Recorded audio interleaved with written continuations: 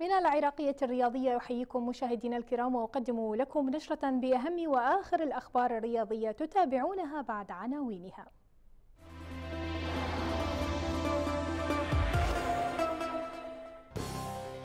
إرجاء المفاوضات مع وكيل أعمال كاتاناتش حتى قدومه إلى أربيل. والهيئة التطبيعية تناقش آلية دور الدرجة الأولى مع الاتحادات الفرعية. القوة الجوية يعلن موعد انتخابات الهيئة الإدارية الجديدة.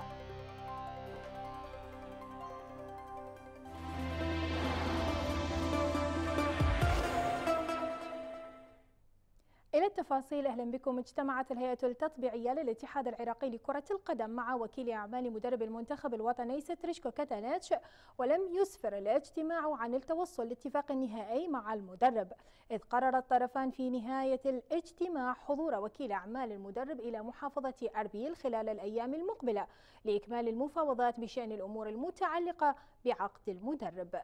يذكر أن المنتخب الوطني بقيادة كاتانيتش يتصدر مجموعته في التصفيات الآسيوية المزدوجة المؤهلة إلى مونديال قطر 2022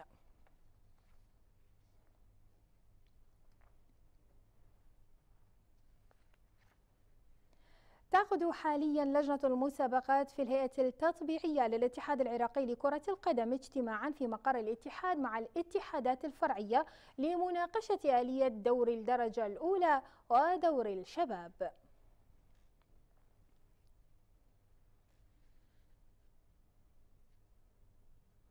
للحديث عن هذا الاجتماع مشاهدينا الكرام ينضم معنا في هذه النشرة من مقر الاتحاد مراسل العراقية الرياضية أنور صباح. أنور بداية أهلا بك في هذه النشرة. آه، مرحبا زميلتي ايناس وإلى كل متابعي ومشاهدي قناة العراقية الرياضية.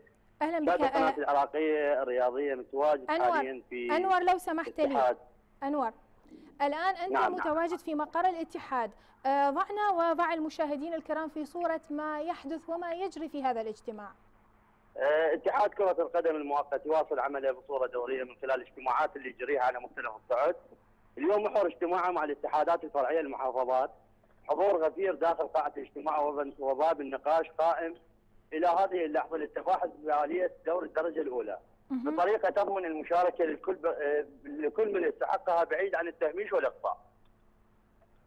نعم طيب آه، أنور الاجتماع بدأ الآن أم أنتم في انتظاره؟ آه لا لا الاجتماع حاليا انطلق آه الاجتماع أو داخل القاعة آه أعضاء آه الاتحادات الفرعية واللجنة التطبيعية آه داخل قاعة الاجتماع ويعني الاجتماع آه يعني انطلق منذ قليل يعني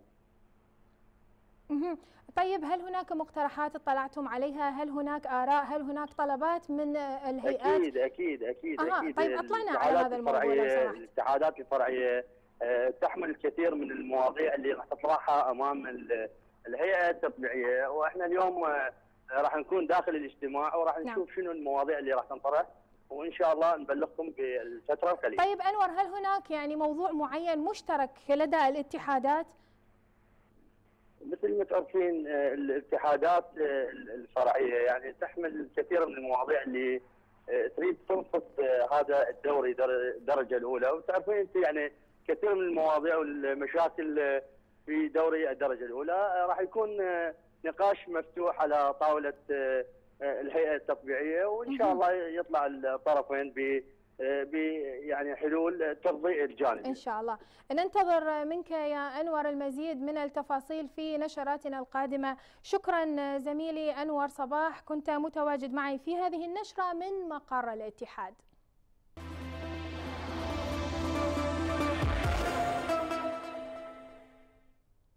يواصل فريق الشرطة تدريباته في معسكره التدريبي المقام حاليا في مصر استعدادا لمشاركته الآسيوية المقبلة. حتى نأسس للدفاع الجماعي لازم نكون بالدفاع الفردي جيدين. الحمد لله والشكر استعداداتنا جيدة من خلال المعسكر المقام في القاهرة اليوم الرابع آه، ملتزمين بإدارة الوحدات التدريبية المكثفة. آه، الغرض منها رفع الجانب البدني والجانب الخططي للاعبين وللفريق وانسجامه على يصير استعدادا لبطولة أبطال آسيا إن شاء الله آه، جاهزين هالبطولة وأجواء رائعة يعني صراحة أنه يحتاج الفريق لهيك أجواء خاصة بداية المعسكر بداية التدريب يعني متوفر كل شيء بالمعسكر. من ملعب بجانب الفندق إلى قاعة تدريب تدريبات قاعة جيم إلى يعني كل الأدوات متوفرة إن شاء الله والباقي يعني التوفيق من الله سبحانه وتعالى. داون احمد ما تعرف اليوم اليوم الرابع بالمعسكر التدريبي المقام في مصر الحمد لله الأجواء ممتازة. كل شيء متوفر لنا من خلال التدريبات اللي نحتاجها أو الإدارة موفرة كل شيء. آه، مثل ما تعرف انت الفترة الراحة الكثيرة اللي أخذناها بسبب جائحة كورونا آه، جبرتنا إن نضع ثلاث تمارين باليوم. آه، إن شاء الله يا رب يكون هذا المعسكر معسكر جيد ومثالي ونقدم كل شيء بممتاز. قبل الذهاب إلى قطر وإن شاء الله يا ربي أبطال آسيا تكون بداية بداية خير هذه المباريات في قطر ونقدر ندافع عن الوان القيثاره ونقدر إن شاء الله نبيض الوجه يا رب.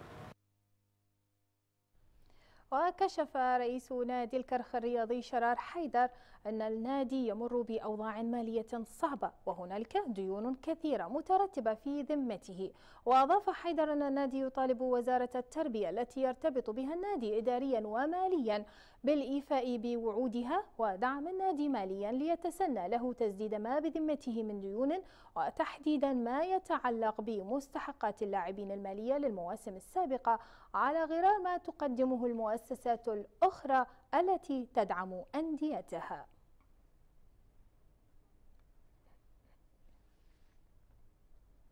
للحديث أكثر مشاهدينا الكرام عن هذا الموضوع ينضم معنا الأمين المالي لنادي الكرخ الأستاذ سمير الموسوي أهلا ومرحبا بك أستاذ سمير معنا في نشرة أخبار العراقية الرياضية أهلا وسهلا بك وبجميع مشاهدي قناتكم العزيزة. حياك الله. أستاذ سمير حدثنا عن هذه الأزمة المالية التي يمر بها النادي وتحديدا ما هو سبب هذه الأزمة؟ بسم الله الرحمن الرحيم مثل ما تعرفون ويعرف الجميع انه نادي الكرخ مرتبط اداريا وماليا بوزارة التربية لكن. حقيقة وزارة التربية ومن خلال الفترة الماضية ولاكثر من ست سنوات لم توفي بوعودها ولم تسدد للنادي مستحقاته فلهذا تراكمت الديون على النادي من قبل اللاعبين طيب أستاذ سمير أستاذ سمير نعم. لو سمحت لي هل قدمتم طلب هل قدمتم مناشدات لوزارة التربية حتى تلتفت لموضوع المساعدات أو موضوع الدعم المالي لكم كنادي والله قدمنا أكثر من مرة واجتمعنا حتى بالوزير السابق الدكتور أحمد محمد إقبال نعم. وكذلك يعني مع الكثير من المسؤولين في وزارة التربية لكن حقيقة وزارة التربية لم توفي بعودها لحد الآن ولم تسدد للنادي الطلب. يعني طلبات اللاعبين بالرغم من أنه اللاعبين كانوا قد وقعوا عقودهم في وزارة التربية وحتى يعني استقطع نسبه نسبة نسبة بسيطة من هذه العقود كضرائب لوزارة التربية ووقعوا أمام الدائرة القانونية في الوزارة، لكن حقيقة الوزارة لم توفي بوعودها مع آه، نادي الكرخ لحد الآن. ونادي الكرخ قام بتجديد قسم من المبالغ المخصصة للاعبين خاصة لاعبي كرة اليد وكرة السلة سوى بعض اللاعبين اللي قدموا شكوى في المحاكم العراقية بهذا الأمر. نعم طيب أعتقد أستاذ أعتقد سمير يعني أستاذ سمير حضرتك ذكرت إنه لسنوات عديدة وزارة التربية لم تدعم النادي نادي الكرخ ماديا، فهل هناك نية بفك ارتباط النادي مع الوزارة؟ يعني في الوقت الحاضر لا ما عندنا هذه النية، لأنه النادي آه، لديه استحقاقات مع الوزارة. نعم. يجب على الوزارة أن تسدد هذه المستحقات لأنه فك ارتباطنا بهذا الوقت من آه، مع الوزارة. أعتقد سوف تبقى الديون آه، في ذمة النادي والديون ديون كبيرة. يعني إحنا نتمنى من وزارة التربية ومن الوزير الجديد الأستاذ علي الدليمي أن يقوم بدعم نادي الكر خلال الفترة الماضية مع العلم أنه مجلس الوزراء قد أصدر قرارا بضرورة قيام الوزارات الداعمة للأندية بدعم الأندية بمبالغ كبيرة جدا لتسديد ديونها وأيضا لدعمها ماليا لأنه مثل ما تعرفون نادي الشرخ من الأندية الدرجة الممتازة ولدينا فريق يلعب في في هذه الدرجة ونحتاج نعم. إلى أموال لتجديدها للاعبين خلال الموسم القادم والمواسم السابقة. طبعا نضم صوتنا لصوت حضرتك وصوت النادي بضرورة أن تتحمل كل الوزارات والمؤسسات التي تنضوي الأندية العراقية تحت لوائها أن تدعمها ماديا ومعنويا لنرتقي بمنافسات دورينا. شكرا جزيلا الاستاذ سمير الموسوي كنت معنا في نشرة أخبار العراقية الرياضية.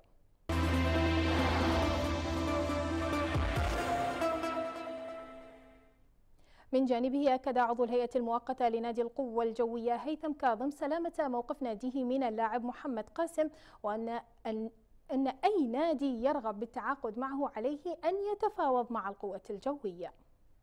خصوص اللاعب محمد قاسم وثبت ثاني بالإعلام وبكلامه شفه وبالورق أنه أكو عقد يضم شراط بطاقة اللاعب محمد قاسم ثلاث مواسم ودفعنا المبلغ هي 110 ثلاث مواسم وقدمنا الكتاب من ضمن الشكوى اللي قدمناها للاتحاد الآسيوي والاتحاد العراقي لكرة القدم.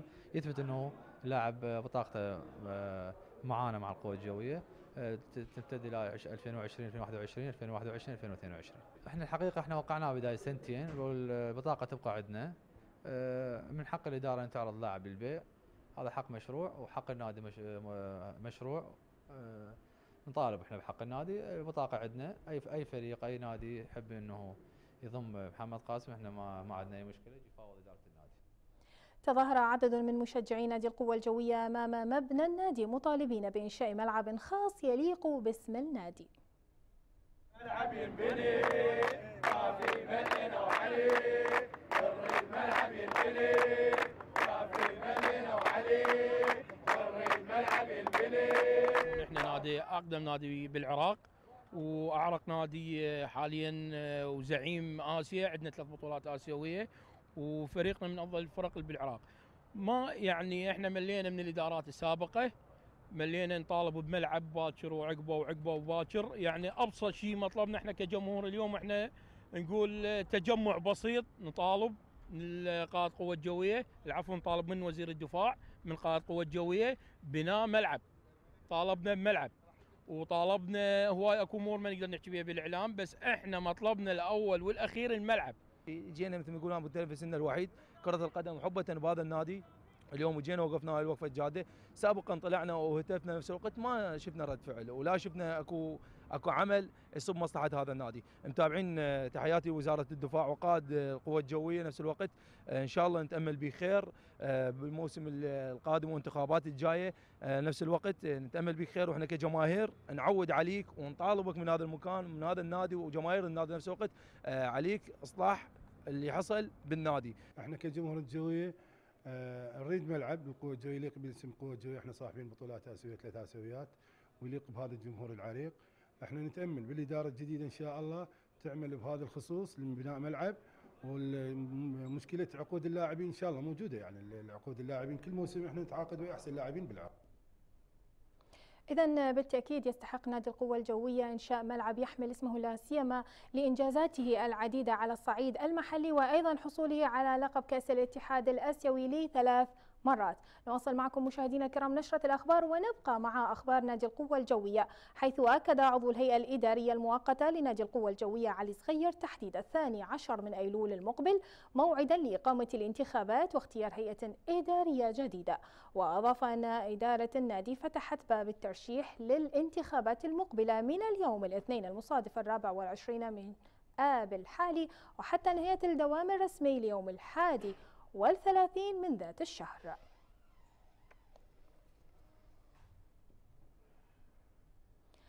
تعمل إدارة الصناعات الكهربائية للعودة لمزاولة أنشطتها الرياضية وبشكل تدريجي ضمن الشروط الصحية والوقائية التي أطلقتها خلية الأزمة بسبب وباء كورونا. تخطينا سلسلة الحظر الذي فرض علينا بسبب فيروس كورونا وهذه من الأمور الإيجابية التي أعطت سير ممارسة الحياة الاعتيادية بشكل تدريجي. عائلة نادي الصناعات الكهربائية وضعت خطة مدروسة لإعادة أنشطتها خلال الأيام المقبلة بعد أن جفت أنهر حركتنا الرياضية بشكل تام منذ أشهر. إحنا اليوم صرحنا بهذا التصريح. هذا التصريح ما جاء من فراغ لما طلعنا على الحياة شفنا الحياة كلها طبيعية. فقط الرياضة هو المتضرر فقط الحظر بس على الرياضة. الرياضة والنشاط الرياضي. اليوم نشوف المولات تدخلها آلاف. تشوف المطاعم كذلك. تشوف حتى المزارات. مزارات بالآلاف تدخل وتطلع. إحنا كنشاط رياضي أو كفريق نادي الصناعه الكهربائيه من 30 إلى 40 لاعب بملعب مكشوف وعادين العدة بالوقاية ووقاية ومستلزمات خلية الأزمة تحث على هذا الموضوع. طبعا عدينا العدة. لذلك بعد تنسيق وتكملة الإجراءات الوقائية من التعفير وأمور أخرى ثانية وتهيئة المستلزمات الطبية الأخرى من فحص وكذا وكل الأمور إن شاء الله جاهزة. التكاتف الكبير بين الكل ولد أشياء نموذجية في النادي بحسابات كانت في منتهى الدقة رغم بعض الصعاب التي اعترضت أعمالهم لكنهم تجاوزوها بكل جدارة ليكونوا على أهبة الاستعداد للمشاركات المحلية المقبلة. إحنا بصراحة إحنا نادي صناعة الكهرباء كإدارة وكموظفين. إحنا ما عندنا التسميات والمناصب فقط على الورق. كنا خلية واحدة وكنا نعمل بروح الفريق الواحد لأنه أنت إذا ما يكون هناك تعاون وتلاقح بالأفكار ما راح تنجح. فلذلك يشوفنا دائما إحنا إيد واحدة. وهي هذا تقريبا أهم آه، شيء لنجاحنا بكافة النشاطات الرياضية على مستوى كرة القدم أو بقية الألعاب. لابد أن نكسر أقفال توقف رياضتنا العراقية كما فعلتها الدول الأخرى لكن بشرط الالتزام التام بالنقاط الصحية لتفادي الوقوع بدوامة الفيروس التي لا ترحم أحدا ولا مجال للاستخفاف بها. تفعيل خط الأنشطة الرياضية وبشكل تدريجي وضمن الشروط الصحية هو الهدف الأول الذي رسمته إدارة نادي الصناعات الكهربائية بمخططاتها من أجل عودة الروح الجميلة لرياضتنا العراقية. زيد غالب العراقية الرياضية بغداد. عن هذا الموضوع مشاهدينا الكرام ينضم معنا مراسل العراقية الرياضية زيد غالب. أهلا بك زيد في نشرة أخبار الواحدة. أهلا بك إيناس وبكادر الرياضية وبكل مشاهدي قناة الرياضية العراقية. أهلا بك. أهلا. آه زيد هل تعتقد انه النادي نادي الصناعات الكهربائية اليوم قادر على استئناف التدريبات دون أخذ موافقة خلية الأزمة؟ طبعا إيناس يعني آه، يوم أمس آه، كنا مع فريق نادي الصناعات الكهربائية وبالتحديد في النادي. رئيس النادي بعد ما طلق التغريدة وهي العوده عوده الأنشطة الرياضية آه، إلى النادي وبكل الأمور ومن من يعني وتكون ضمن آه، شروط وقائية صحيحة يعني من قبل خلية الأزمة.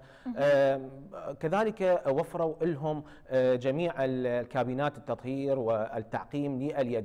هذا نعم. الشيء وضع نادي الصناعات الكهربائية بإعادة أنشطة الرياضية وخصوصا كرة القدم. مثل ما نعرف يعني الآن استعدادات مهمة للدوري.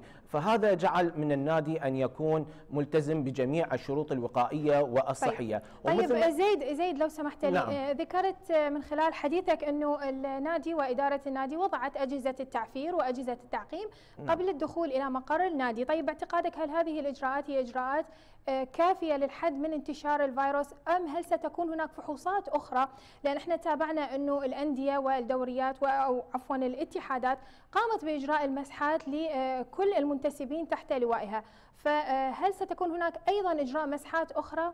طبعا مثل قبل ما نعرف يعني قبل فترة يعني كانت جميع الكوادر الطبية تفحص الأندية لاعبي الأندية من أجل معرفة المصاب عن الغير المصاب. آه، قبل فترة آه، يعني نادي الصناعات الكهربائية كان من ضمن هذه الفحوصات، ظهر عندهم 13 لاعب مصاب من أصل 25.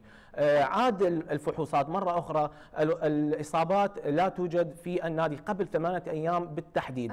هذا جعل النادي أن يكون بإرجاع أنشطة رياضية الرياضية بكرة القدم بالألعاب الرياضية الأخرى من أجل إعادة الروح الجميلة لهذا النادي. كذلك آه، هنالك دعم أيضا من قبل وزير الصناعة نادي الصناعات الكهربائية كونه الممثل الوحيد في الدوري العراقي الممتاز. ودعمهم بشكل كبير آه، ودعمهم بالأمور المالية والمعنوية. هذا جعل آه، الكابتن علي خلف يطلق هذه التصريح بإعادة الأنشطة وإعادة الروح الجميلة إلى هذا النادي. زيد غالب مراسل العراقية الرياضية كنت معنا في نشرة الأخبار. نتمنى طبعا الالتزام بقرارات خلية الأزمة ونتمنى نتمنى أيضا عودة الحياة الطبيعية للعراق ولكل العالم بعد جائحة كورونا.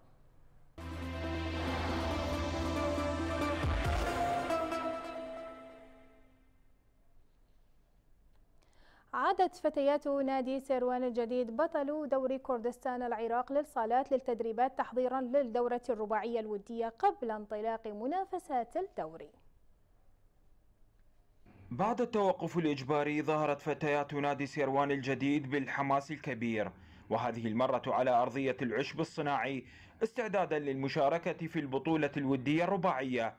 وكذلك تعويد لاعباته اللاتي استدعين مؤخرا للانضمام إلى صفوف المنتخب الوطني للناشئات بتواجد مدرب الفريق الذي أصر على متابعة سير التدريبات رغم إصابته. اليوم تمريناته وحداتنا التدريبية على العشب الصناعي أو التارتان.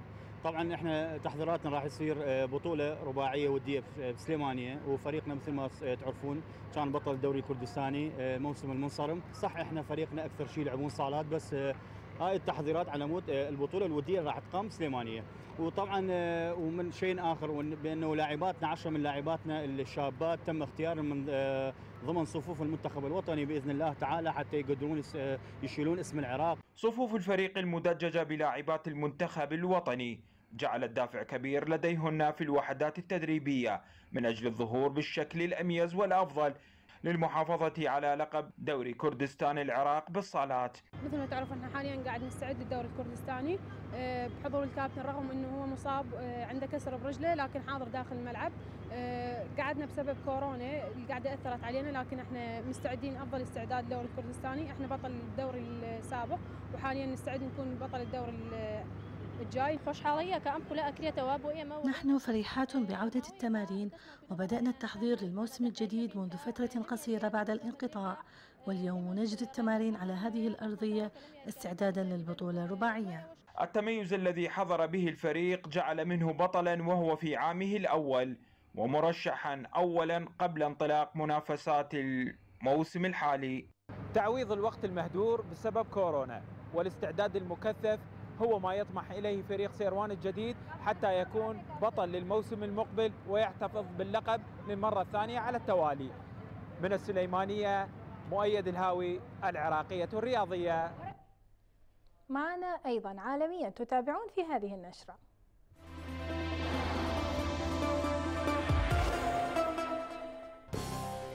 بايرن ميونخ يفوز بدوري أبطال أوروبا للمرة السادسة في تاريخه.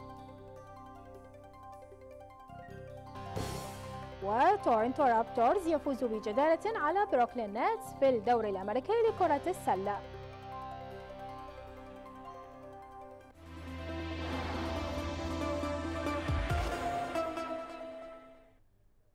توج بايرن ميونخ الألماني بطلا لدوري أبطال أوروبا للمرة السادسة في تاريخه عقب فوزه على باريس سان جيرمان الفرنسي بهدف نظيف في المباراة النهائية التي أقيمت على ملعب النور في العاصمة البرتغالية لشبونة.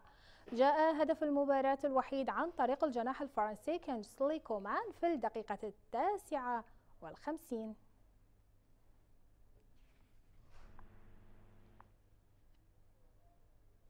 للحديث مشاهدينا الكرام عن هذه المباراة. ينضم معنا المدرب الكروي سامي بحت. كابتن أهلا ومرحبا بك معنا في نشرة أخبار الواحدة من العراقية الرياضية. أهلا وسهلا بكم. تحياتي لكل المشاهدين الأعزاء وإلكم جميعا. أهلا ومرحبا بك. آه، كابتن حدثنا عن هذه المباراة. هل كان أداء البايرن وسان جيرمان بالمستوى المطلوب؟ آه، حقيقه المباراة يعني كانت قمة في كل الجوانب باستثناء يمكن الشغله واحدة كانت آه، غايبة من هذه المباراة هو. الحضور الجماهيري حتى يعطي قوة ودافعية كبيرة للاعبين. لكنه كجوانب أخرى يعني جوانب فنية يعني كانت ذو قيمة فنية كبيرة لكلا الفريقين، طبعا المباراة كانت بالشوط الأول متكافئة من الناحية آه، الفنية وفريق باريس سان جيرمان عده فرص يمكن ضيع ثلاث فرص للتسجيل. آه، كانت كفيلة بأن يسجل هدف وقدر أن يعني حتى أسلوبه التكتيكي يغيره بالشوط الثاني لكنه أضاع آه، عده فرص كانت سانحة للتسجيل. بالشوط الثاني الأمور اختلفت يعني فريق بايرن ميونخ قدر أن يسيطر على منتصف الملعب بشكل واضح من خلال عملية الضغط المباشر على الفريق وقدر أن يحد طيب. من مكامن أو صناعة اللعب بالنسبة للفريق طيب آه كابتن آه كابتن لو سمحت لي بمداخلة آه، حضرتك ذكرت انه الشوط الأول كان لباريس سان جيرمان الشوط الثاني كان لبايرن ميونخ من حيث السيطرة. برأيك لماذا كان هذا الاختلاف؟ لماذا في الشوط الأول كان لباريس سان جيرمان وفي الشوط الثاني تراجع باريس ليأخذ مكانه ويسيطر أكثر البايرن؟ لا بالشوط الأول كان تكافؤ بالأداء بس الفرص كانت أكثر لفريق باريس سان جيرمان من خلال طبعا يعني استغلال الفراغات والانطلاقات والتحولات السريعه لكنه كشوط الشوط الأول كان بتكافؤ واضح جدا. من خلال طبعا الانضباط التكتيكي اللي اعتمد الفريقين. فريق بايرن ميونخ اعتمد على الجناحين. طبعا كان يستخدم الجناحين والظهيرين. يعني كيميتش كان وجنابري أمامه وديفيز ظهير الآخر وكومان. فتحوا الملعب عن طريق الجناحين والظهيرين وقدروا يستفادون من المساحات وأيضا آه، الجانب البدني بالشوط الثاني كان عنصر فعال بالنسبة لبايرن ميونخ. وأيضا التمركز والانضباط التكتيكي قدر أن من خلاله عملية الضغط أن يسيطر على مجريات الشوط الثاني، يعني كان الشوط بدنيا يعني بشكل واضح بالنسبة لبايرن ميونخ ساعده على التحولات السريعة والانتقالات بالزيادة العددية ففرض أسلوب لعبه وأيضا سيطرته على منتصف الملعب، إذا نعرف هنالك ثلاث لاعبين بالنسبة لباريس سان جيرمان يمتازون بالنزعة الهجومية على حساب الجوانب الدفاعية. كابتن آه كابتن سامي كابتن نعم. سامي آه عذرا لهذه المداخلة ولهذا القطع لكن أعتذر من حضرتك لضيق وقت النشرة شكرا جزيلا للمدرب الكروي الكابتن سامي بحت.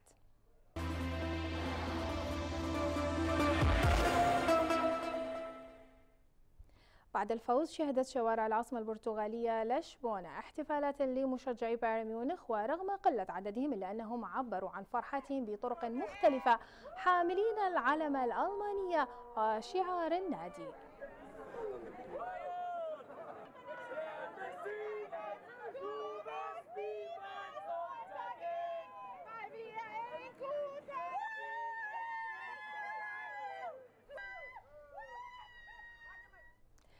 المقابل اصطدم العشرات من مشجعي فريق باريس سان جيرمان مع شرطة مكافحة الشغب في الشانزليزيه عقب المباراة التي خسر بها باريس سان جيرمان بهدف نظيف أمام بايرن ميونخ.